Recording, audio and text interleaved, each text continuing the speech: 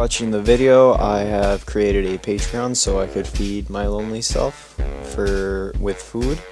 Um, it's the same name as my YouTube. I have a Twitch will go live sep not September, but the 14th of April this year.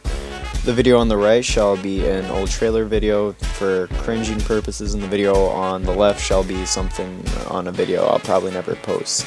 So thanks for watching.